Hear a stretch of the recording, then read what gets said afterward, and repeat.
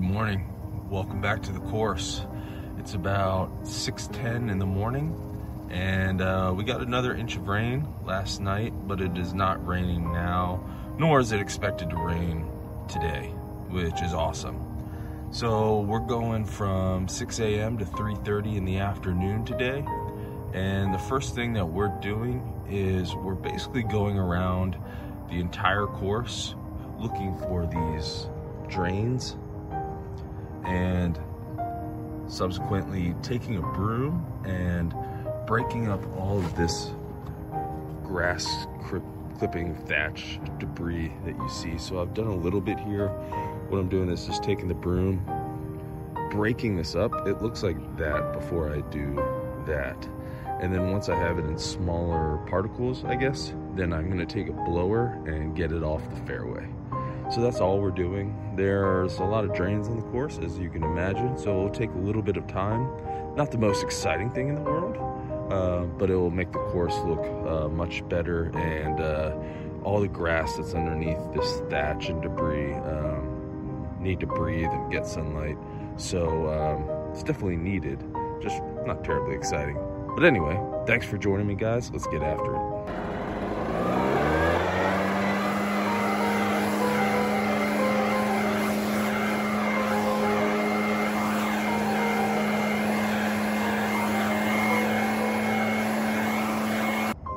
All right, so that's pretty much how it should look once you're done.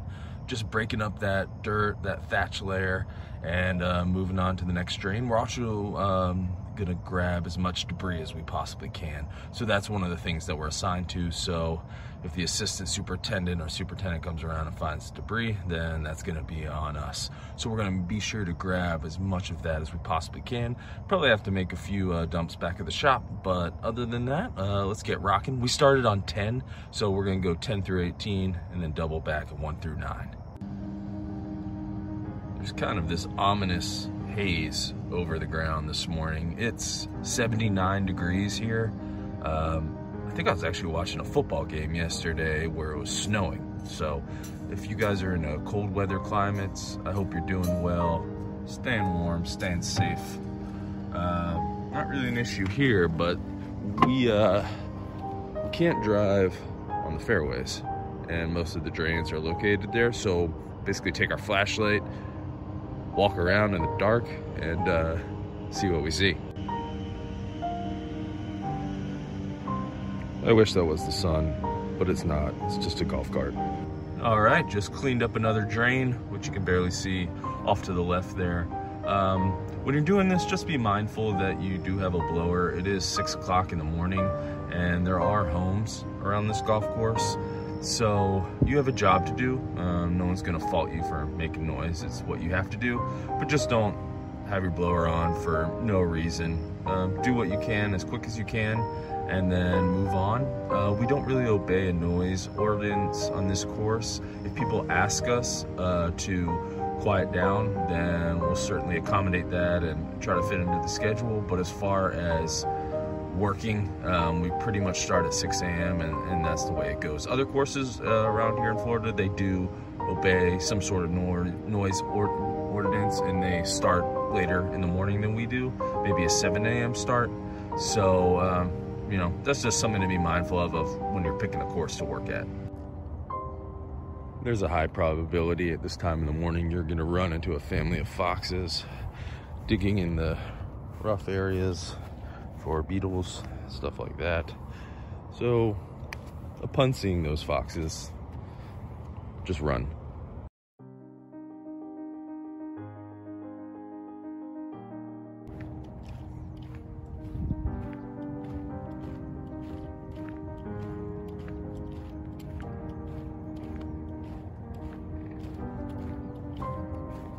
So here's another little patch, as you can see, and if we come over to the drain, we just want to clear this up.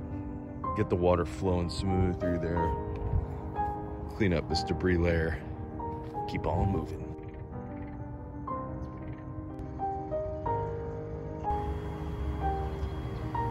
Hope you guys like frogs.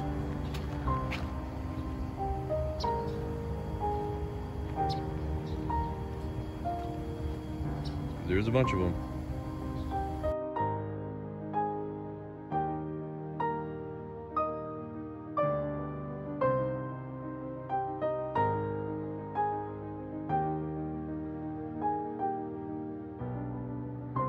Guessing there was some sort of event here yesterday after we left around 9 a.m. Let's see if there's any uh, cold beers in here for us to drink. No, but there are a ton of waters. We'll take one. Let's try here. Uh, just a bunch of towels. Oh well. And this is card is called the Pope Mobile. I have no idea why.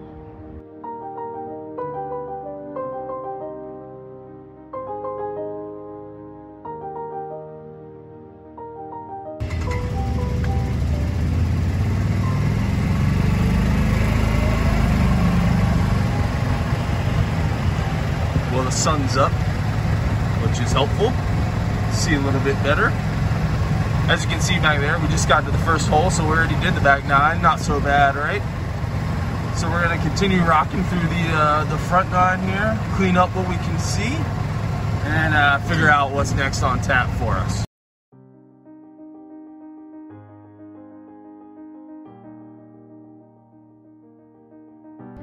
So here's a good example. You can see a bunch of standing water, and if you look closely, you can see there's a drain. This course does not drain well. I don't know if I've told you that. You can probably have guessed that by now. But over here, you can see the grass clippings, thatch layer. That's what we're after. Um, so I just wanted to show you that in a little more light and a little more detail. We're gonna take a broom, break it up, and then blow it off. So we have it all broken up with the broom now. We're just gonna take our blower, get her cleaned up. Much better. Now the grass underneath that stuff won't die. The sunlight can get to it, and we keep moving. So we got two more spots here. One up there, and one right behind us, right here. We do have a buddy working with us. Haven't seen them in a few holes. Maybe they found those beers that uh, we missed. In that case, well played. Bunkers teams getting after it. They're not as cool as us, but they're pretty cool.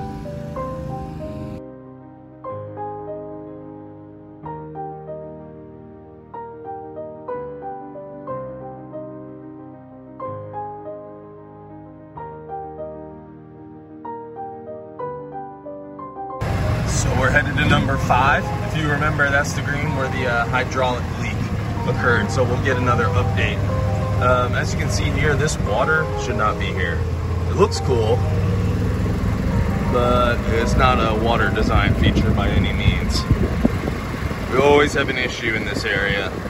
Not 100% sure why, it just barely drains. Doesn't really drain at all. But the little birds seem to like it. Anyway, let's go check out this green. So it doesn't look bad if you approach it from this angle. But um, those bunker teams, what they're doing, you can see that underlayer of the bunker, that hard packed orange stuff. What they're doing is they're pushing up the sand and other people are coming and raking it. And then the sand pro is going around and making it look all nice. But this is just pure erosion from a tremendous amount of water. Um, so that's kind of what it looks like. But then we get hit with this. I think this might be as good as it gets, guys. I think this is definitely going to have to be tore up. I'll ask the superintendent, the new superintendent, what the plan is for this. Um, but yeah, it's dead. Oh well. The rest of the green looks beautiful. We can just cut out this part. Wildlife is really digging their new sanctuaries. These white birds are pretty neat.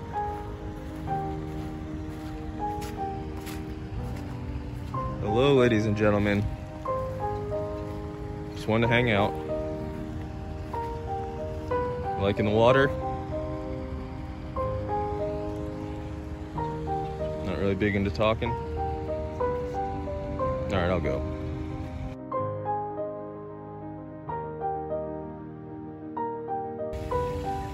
Another spot for us to hit.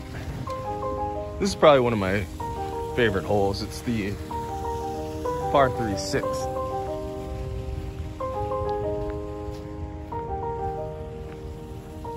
Yeah, we'll get this all cleaned up. I just wanted to take this opportunity to thank you guys. I feel like I've been saying thank you a lot lately, but it's definitely warranted. Uh, we just hit 100 subscribers, which is, it's awesome. It, it, it blows my mind. I remember when just a little while ago we had 10 and that was awesome. Um, so I can't thank you enough. I know who you are. I write your screen names in an Excel sheet. I don't know if I can extract that from YouTube anyway, easier, but um, thanks for watching. And if you do leave a comment, I owe it to you. I'll get back to you 100%. Um, but I can't tell you how much more fun this is on a daily basis uh, with you guys along for the ride. So thank you. Those guys up there doing T-service, like you've seen me do numerous times. The new guy's actually up there.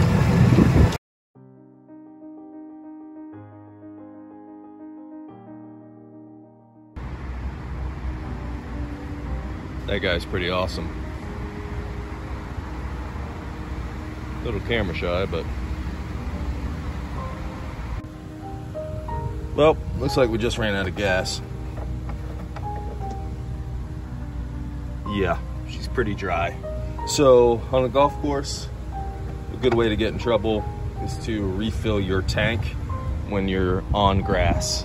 So even though we're in the back of a cart, we could drip out of this and then it could leak through the back of the cart and it'll immediately kill the grass.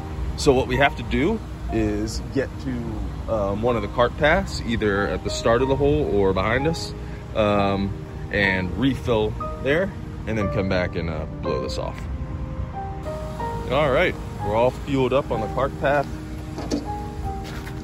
No issue with dripping. Get back out there and finish this up. So this is number nine, meaning it's our last hole. If you remember, we started on 10, and then we did the uh, front nine last You can see our teammate way out in the distance. Um, so we're headed back to the shop. We'll get the broom washed off and we'll get the blower put away. It's uh, 9 a.m. in the morning, uh, 81 degrees, feels really uh, nice out. So we'll see what we're doing next. So we're all set up to mow. Uh, we have the cart on the path so the tires don't get on the grass. We have the trailer slightly leaning onto the turf and then our mower. Mower should never touch the cart path ever. Um, we're gonna start with the practice chipping green. So we have our divot removal tool. That's what we're gonna be doing first. We're gonna mow. Our pattern is gonna be nine to three. And then uh, we're gonna wipe off with our um, little switch here. We have two other guys helping us, but we have to do the entire practice area and all 18 holes. So we'll probably won't finish before lunch, uh, but let's get after it. Good thing about mowing this time in the morning is the dew is perfect. You don't struggle to see your lines or anything. So we're going nine to three. Um, this is a small one, so we'll knock it out quick. But we want to try to get through all these greens before this dew burns off. Make it easier on ourselves. She looks good. Let's move on to the next one. We even have some uh, some Gatorade to help get us through. I forgot how much this made me sweat. I don't know if it's because the sun hasn't been out in like five days. Dang. Anyway, this green's looking good. Go ahead and get the flag put back in here. Keep on rocking. Probably next time I see you will be lunchtime. Already ran out of Gatorade, so we shot back over to the secret Santa. All right. Done with that one. That's the final one before we go into lunch and see what the course has made for us. I'll be the you can be the judge if it's edible to you or not. But hey, it's free.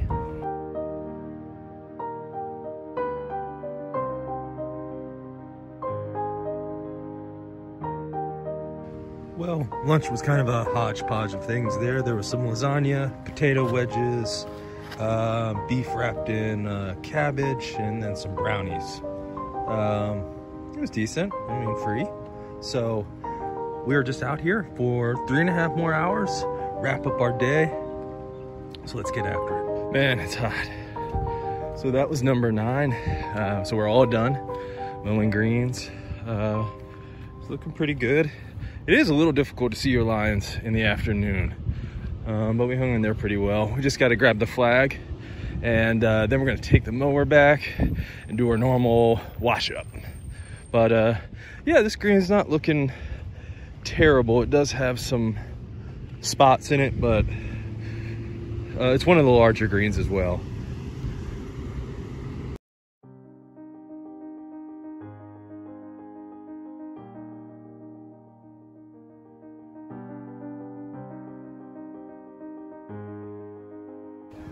All right, guys, it's 3.30. Our nine and a half hour day of the course is done. We spent the remaining uh, two so hours there filling in those holes created by the foxes. So not much for you to look at. Um, but yeah, we're all done. We're gonna wash up and head home. Uh, thanks for joining me today. I really appreciate it. Thank you uh, to the 100 subscribers. That is awesome. Uh, I really enjoy making these videos for you. Um, so thanks for watching them. And uh, I'll see you tomorrow.